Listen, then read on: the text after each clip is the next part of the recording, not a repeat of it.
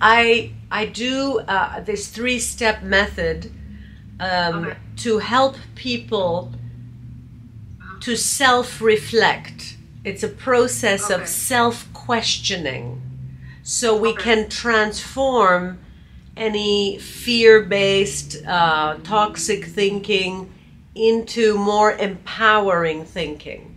It's a three step system to Uh-huh. get our, pull ourselves out of a hole that we got ourselves Uh-huh. into. So it's a self help method. You are such a, uh, I guess, teacher and leader of this area. Uh, so, do you have no troubles or no uh, negative thoughts? I have fear based thinking like everybody else because it's also natural. It's just I have the tools which I share in my work and I apply the tools. What kind of coach would I be if I didn't practice?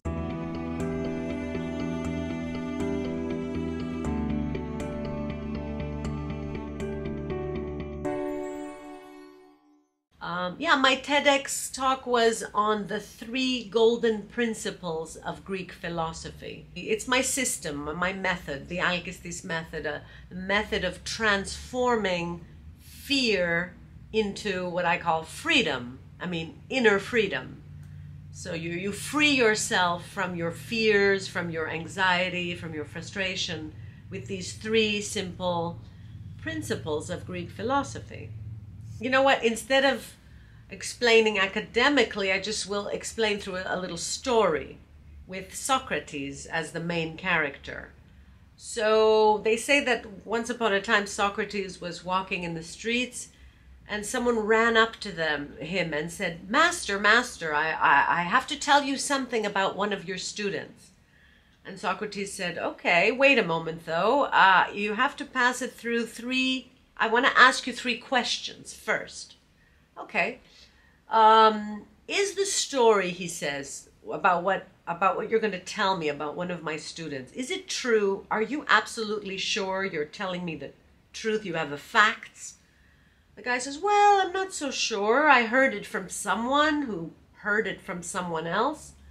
The second question Is it kind? Is it something kind about my student? you know, uh, and he said, no, not really. It's kind of mean, you know, gossip. And the third question, he said, is it useful? Is it going to be useful to me to know this story? And uh, the guy said, no, not really. It's not useful at all. So Socrates says, oh, it's not something true, it's not something kind, and it's not something useful. No, I don't want to hear it, what you have to say.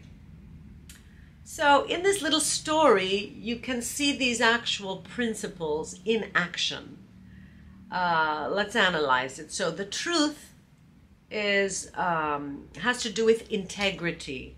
So, whenever you have a problem, you have to ask yourself: Is my worry, is my anxiety true? Is this thought that I'm telling myself? Maybe I'm lying to myself. Like we lie a lot to ourselves, Ching we tell ourselves some stories that are not true a narrative the inner narrative you know like we say oh she's a hateful person. But you have to ask yourself is that really true? Is she always hateful? Maybe she's nice sometime. Maybe she's done something nice for some people.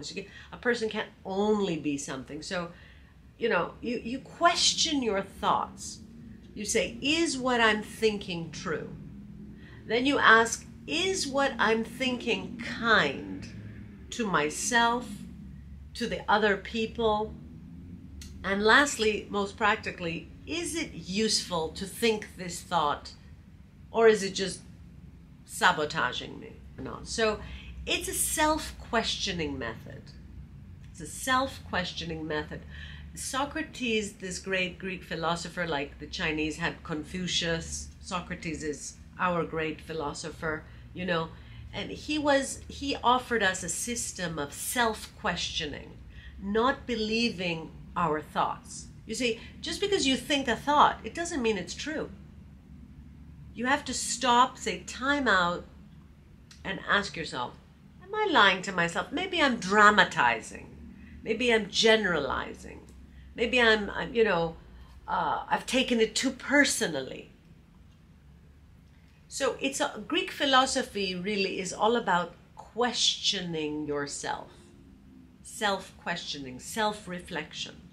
And these three questions uh, really make it easier for people like you and me who don't have time to read all the philosophy books.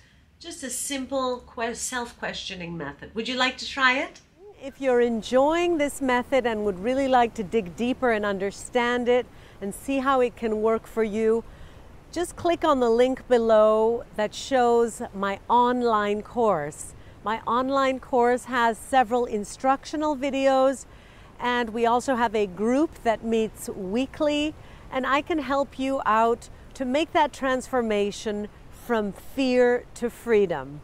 Continue watching if you're enjoying it and I'll see you at the end with another message. I know I'm asking a lot because in a way it's asking you to expose, but I'd like you to think of something, Ching, perhaps that just like a complaint in your mind, something that is upsetting you recently. Could you think of something like that? Something that may be bothering you lately. And I'd like to ask the audience to join in and let's do the exercise together. I want everyone to just think of something that's like a complaint, something lately that's been going through their mind. What do you how do you feel about that? And what is the story you're telling yourself? What in one or two sentences Okay. What's the thought that actually goes through your mind? So I feel like I'm dealing with a flaky person. Mm. You know? Does that happen often? yeah. So we can take that as the sentence the story. So I hate it that people are uh, unprofessional. Mm. Should we say like that? They're all unprofessional. All these, um, I'm dealing with unprofessional people. Yeah. Is something that goes through your mind what is the fear you think that is behind that thought? Your own the, fear about you. The, the fear is um, I cannot get work done. Okay. If they don't assist me, my you're doing very very good, Ching. I, I appreciate first of all I appreciate you trying out this exercise, your honesty and your candor. Uh, it's not easy to open up, especially in front of your audience. So I, I know your audience appreciates it uh, too. So the the deep fear is that I won't be able to get any work done. I won't be able to make progress. We could say that that's a deeper fear underneath. And what will and now we go deeper. And if that happens, if you won't make any progress, then what would be like a bad consequence? What would be a bad result? What's even worse? I'm not making any progress, so this and this bad is going to happen. Um, they waste my time. I'm wasting my time. And if you're yeah. wasting your time, then what happens? What's the worst? Right. What's what what drives deeper? What's the fear that they're wasting your time and What's the fear there? You're, we're digging. You see, we're digging. We're going deeper. Okay, so if people disrespect me uh, in my work, then I, I, I will have less people to deal with. I, I won't have anybody to work with. And if you don't have anybody to work with, what's and, and if they disrespect you, what does that say about you? What is the deeper fear about you?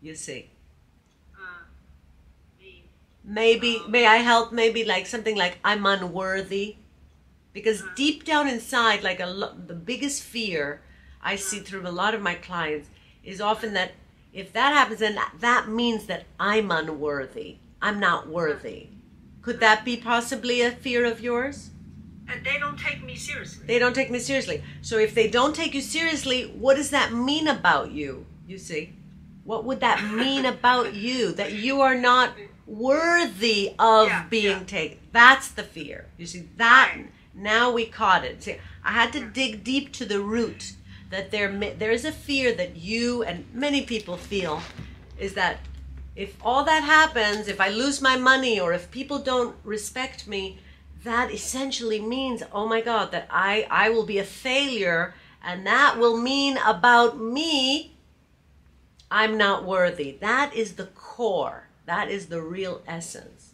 So now we take this fear, okay, now we, now we know what the fear is. I feel I'm unworthy.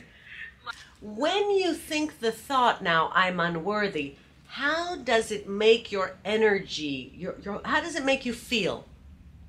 Does it lower your energy? Does it make you feel sad? The thought, I'm unworthy, what does it do with you?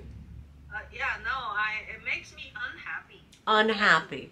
And, and, okay, that's mentally. And physically, does it give you energy or does it lower your energy? Lower my energy. Lowers your energy. Okay.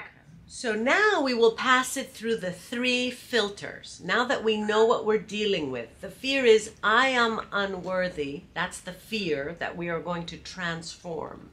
Is that story, is that that sentence I am unworthy? Is it is it is it would you say it's true? Are you unworthy? Is it a true thought? Uh, no. Of course. So it's a lie you are telling yourself. You see? That's the first filter. Is it true? No, it is not true. We go to the second question Is that kind? When you think this thought, I'm unworthy, is that something kind you're doing to yourself? Definitely not. No, it's not a nice thing to do to yourself. It's like a little bit of self abuse mm-hmm. like all of us. Don't worry, you're not alone. you're in good company. and thirdly, the third question is it useful? Is it useful to have this thought? No, it's not useful, obviously. So it is not true, it is not kind, and it's not useful. Mm. So, what can we do with this running narrative, the story. We have to change the story that we are telling ourselves, that you are telling yourself, and that our audience is. What? How can we change the narrative?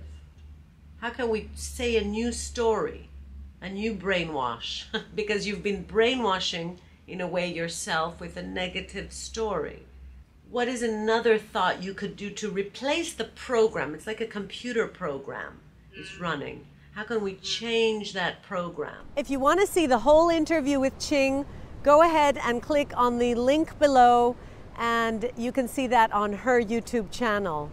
Thanks for joining. Goodbye for now.